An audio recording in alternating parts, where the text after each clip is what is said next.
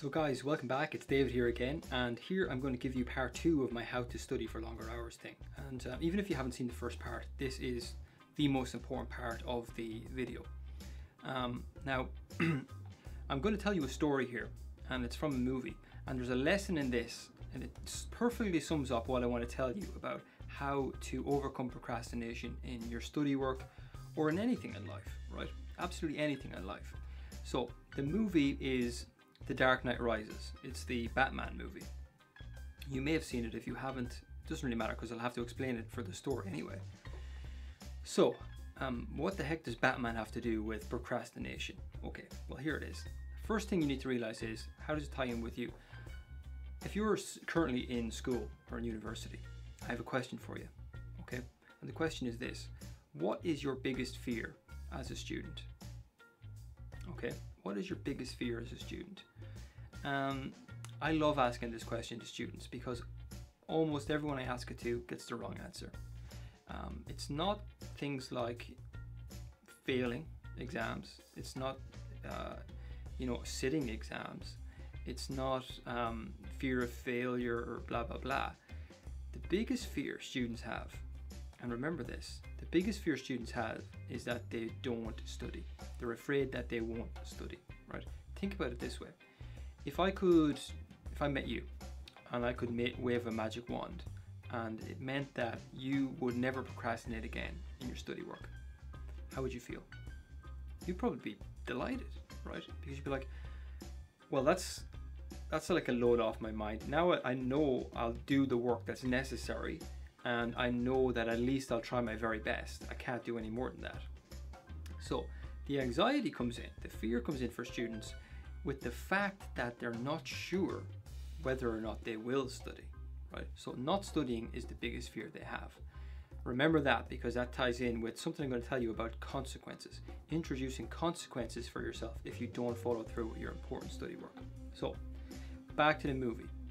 The hero of the movie is Batman, right? Um, and he gets captured by the evil villain Bane, and Bane puts him down in this underground prison. It's like a huge, big, deep well. Okay, it's got big uh, stone walls, and Bane, the bad guy, doesn't kill him straight away. Like uh, most of these uh, bad guys in movies, right? They don't just kill him straight away. They actually give he gives he gives him a chance to escape. Okay, so it's kind of a way of torturing him.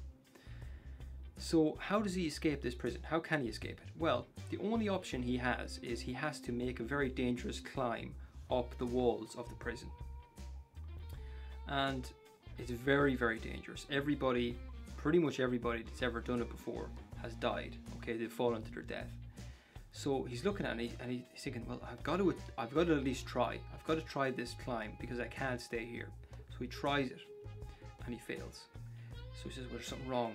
So he starts working out. He gets really really strong and, and fit and he tries it again and again and again and he keeps failing okay? He keeps falling now the thing about the climb is that it's da really dangerous and he can really hurt himself, but it's made a bit easier by the fact that he has a rope attached to him.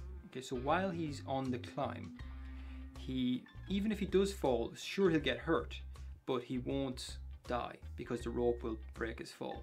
So he does it with the rope several several times, and he always fails. So at this point, um, Bruce Wayne is really, really dejected, and he's thinking, I, I don't know how I'm going to get out of this. I really do not know how I'm going to get out of this. And he talks to another prisoner, an old man who is uh, in the cell next to him, I think. And the old man sees his problem before he does. And the old man says to him, he says, basically, there's nothing wrong with your body. You're fit enough to do this climb. You actually are capable of doing it. The problem is in your motivation you're making the climb and you're not afraid. If you were really afraid, you would do it, right? You'd, you'd be more success. You would be successful. So he says he, he comes up with a crazy plan. He says, how you're going to get out of this is you're going to do the climb, but you're going to leave the rope behind. No safety net. Okay. So Bruce Wayne decides, you know what, it's a crazy idea, but I've got no other option at this point. So he does the climb without the rope and this time he succeeds.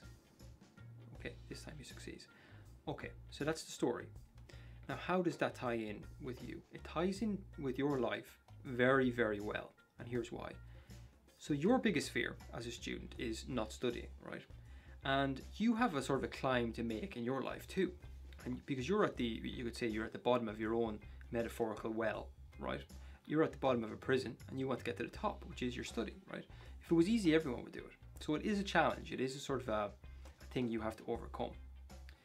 And when you're on the journey, you feel afraid because uh, success is not guaranteed. Okay, you feel afraid, you feel uncertain. Much like Batman did when he was attempting to climb, he was afraid. Now, when Batman was attempting to climb, when he was afraid, he used something to minimize his anxiety, which was the rope. Now, as a student, okay, here it is.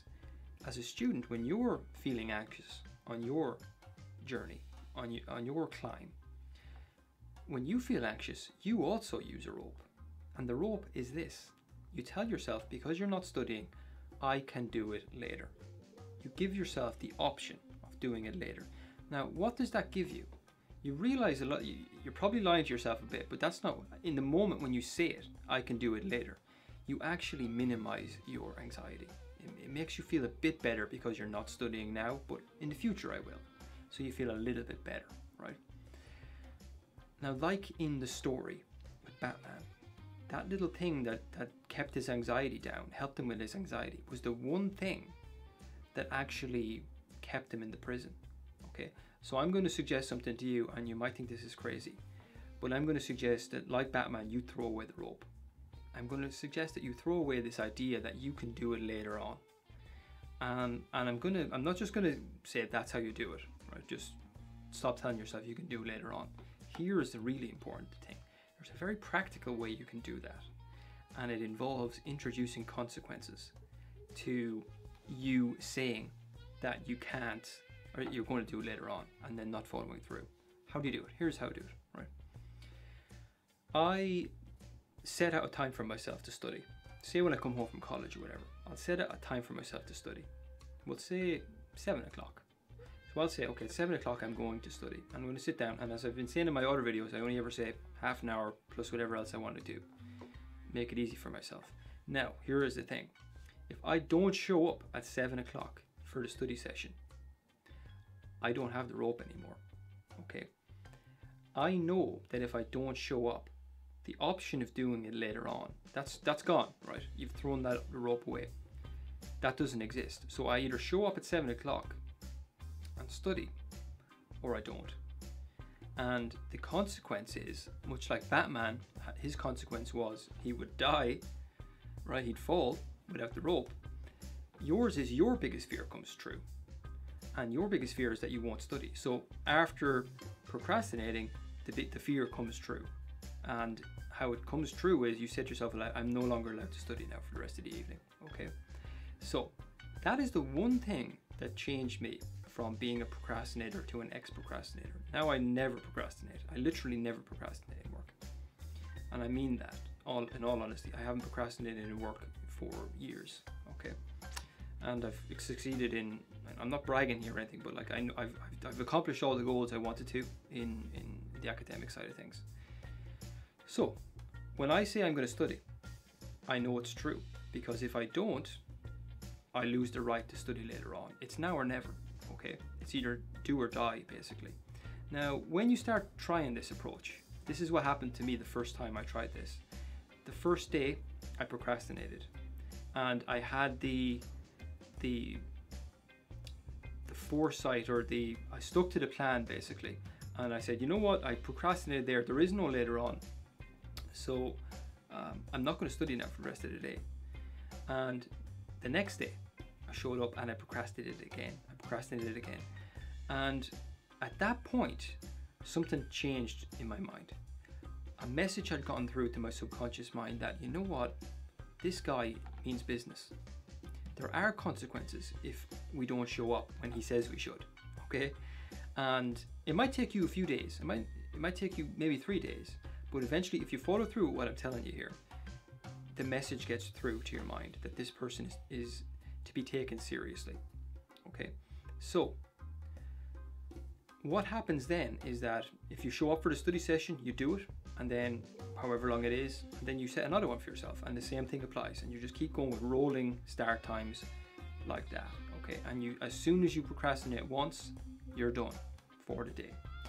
You can't lose with this approach.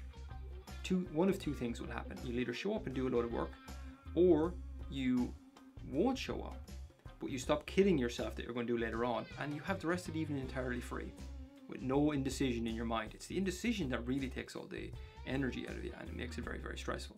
So, to recap, this is the approach. This is what I do. This is the biggest secret I have. I set a time for myself to study. If I don't show up for it, I, I, I, I cannot do it later on. The have to, or I, I can do it later option is totally gone for me. The fear has come back, right?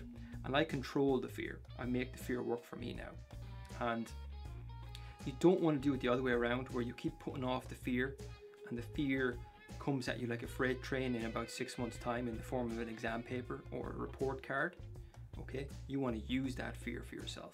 So that's it. That is the biggest life-changing insight i have um, from my time in university and college. Give that a go and i really would love to know what you think of that okay? Because trust me that one has changed my life. So have a go guys. Um, I'll be making more videos on this to explain it a bit more because I bet there'll be a lot of questions and people misunderstanding that. So subscribe below for, um, I think it's down here or here, whichever side, the red button. Um, comment below, let me know how it's going for you and like this one as well. And uh, I will talk to you guys soon.